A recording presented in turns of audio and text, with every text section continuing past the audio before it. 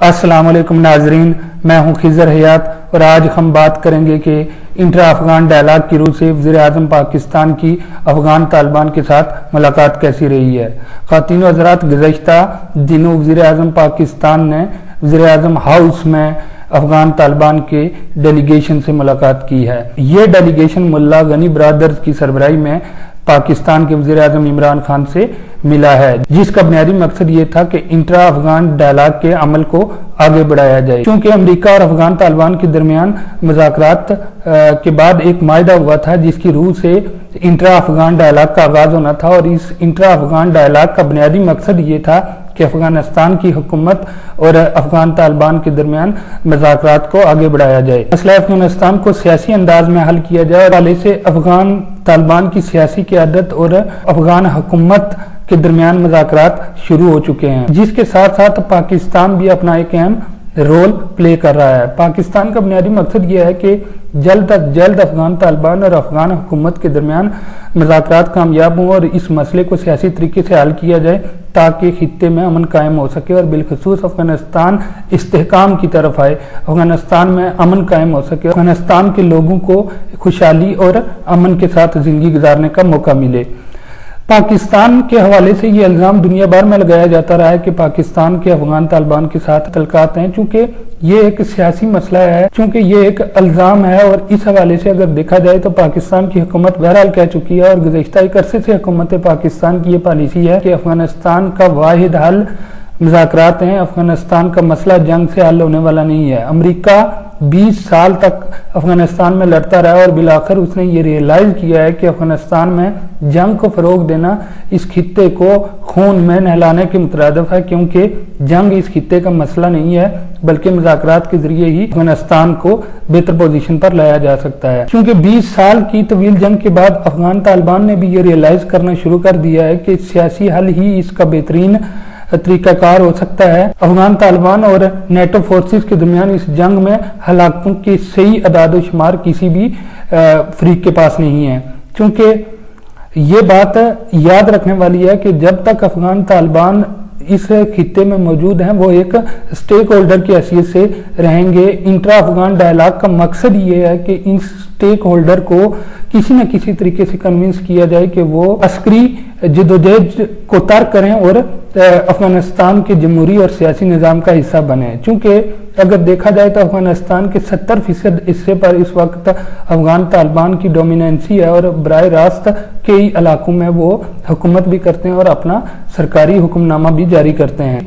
पाकिस्तान बार बार इस खत्े में चाहता है कि यहाँ पर अमन हो, यहाँ पर माशी सरगर्मियाँ चलें ताकि अफ़गानिस्तान और पाकिस्तान के लोग इन माशी सरगर्मियों के समरात हासिल कर सकें। जबकि यहाँ पर इंट्रा अफगान डायलाग में सबसे बड़ा जो मसला है वो ये है कि कुछ खत्े के ममालक सियासी अंदाज में मुबैना तौर पर ये नहीं चाहते कि ये इंट्रा अफगान डायलाग कामयाब हों। इस स्नैरियो को इस तरह बयान किया जाता है कि इंडिया के अफगान हुकूमत के साथ इंतई दरीना और गहरे मरासम है, जबकि अफगान तालिबान के पाकिस्तान के साथ इंतई दरीना मरासम है। और एक अमूमी सोच ये पाई जाती है कि Pakistan in intra Afghan dialogues को हर सूरत में कामयाब करवा के फतह हासिल करना चाहता है, जबकि इंडिया चाहता यह है कि अफगान तालिबान दीवार के साथ लगे रहे और ये जंग जारी रहे ताकि अफ़गानिस्तान की हुकूमत पर बिलखसूस इंडिया अपना असर और सुख कायम रखे।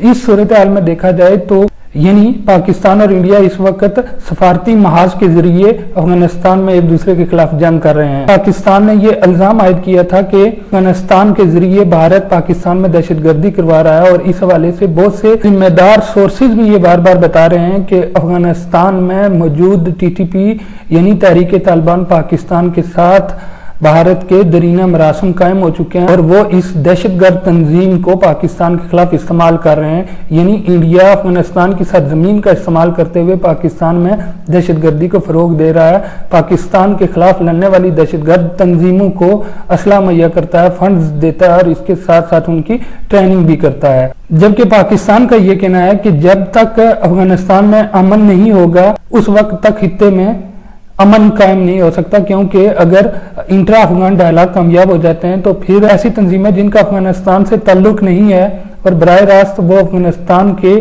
शहरी नहीं है, उनके खिलाफ भी कार्रवाई की जा सकती है। अस्करी नुकता नज़र से देखा जाए तो पाकिस्तान इस वक्त इस पोजीशन पे बैन अवी दुनिया में भी इज़्ज़त की निगाह से देखा जा रहा है कि पाकिस्तान की ज़्यादा से ज़्यादा यही कोशिश है कि वो किसी तरीके से इंट्रा अफगान डायलाग को कामयाब करवा सके ताकि अफगान तालिबान और अफगान हुकूमत के दरमियान जमहूरी अमल का दौर चल सके। और इस सूरत हाल में अफगान तालिबान भी बार बार ये यकीन दहानी करवा रहे हैं कि अगर खत्े में अमन कायम होता है तो फिर वो इस जमहूरी सेटअप का हिस्सा बनेंगे और जमहूरी अंदाज में हुकूमत करेंगे। मतलब ये कि अफगान तालिबान और अफगान हुकूमत पे ये ज़िम्मेदारी आयद होती है कि वो खत्े के मफाद को देखते हुए, मुल्क के मफाद को देखते हुए बेहतर फैसले करें और इनको इस वक्त किसी भी मुल्क की सियासी मफादात का हिस्सा नहीं बनना चाहिए और बिलखसूस अफगान हुकूमत को इस वक्त किसी दूसरे मुल्क की सियासी मफादात का हिस्सा नहीं बनना चाहिए, क्योंकि बहरहाल ये अफगानियों के मुस्तबिल का फैसला होने वाला है कि उन्होंने अपनी ज़िंदगी कैसे गुजारनी है। अगर ये मौका ज़ाया हो गया, जैसे कि वजी अजम पाकिस्तान ने कहा है कि दोनों फरीकैन पर तशद कार्रवाइयों को छोड़ें, सिर्फ़ और सिर्फ़ डायलाग को फ़रोग दें, क्योंकि अगर ये खत्ता एक बार फिर डिस्टेबलाइजेशन की तरफ़ चला गया तो बहरहाल नुकसान अफगानियों का होना है। क्योंकि दूसरे मुल्कों की जंगों को फरोग देना बेसिकली अपनी मुल्क की सालमियत को खतरे में डालने के मुतरदफ है। अफगान हुकूमत पर यह सबसे ज़्यादा ज़िम्मेदारी आयद होती है कि वो इंट्रा अफगान डायलाग को कामयाब करवाएँ। अगर वो इंट्रा अफगान डायलाग को कामयाब करवा देते हैं तो इसका सबसे ज़्यादा फ़ायदा भी अफगान हुकूमत को होगा, क्योंकि अफ़गानिस्तान में बर रास्त एक जमहूरी अमल शुरू हो जाएगा और लोगों की ज़िंदगी में आसानियाँ आएँगी, उनको माशी कुत मिलेगी, उनको सियासी इस्तेकाम मिलेगा जिसकी वजह से अफ़गानिस्तान दुनिया में बेहतर पोजीशन पर आएगा, वहाँ पर तरक्की होगी, खुशहाली होगी और खत्े को भी इसके बेपना सम्राट मिल सकेंगे। पाकिस्तान, चीन और अफगान तालिबान इस वक्त इंट्रा अफगान डायलाग में एक रुख पर मौजूद है। अमेरिका भी इन इंट्रा अफगान डायलाग्स को हर सूरत में कामयाब देखना चाहता है। तो इंडिया और अफगान हुकूमत दूसरे स्टेज पर मौजूद हैं।